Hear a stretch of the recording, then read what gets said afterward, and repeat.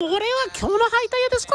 はいタイヤです。その言い方だとなんだかわかんなくなっちゃうよ。これゼストスパークに入ってたやつだセイバーリング。すごい減ってんね。でも製造は2022年。よーくここまで使ったね。日本人らしさもったいない精神ってやつですかね。でもバーストしなくてよかったねこれ。隣は N ボックスで入ってたやつだなこれ。これは2020年製造。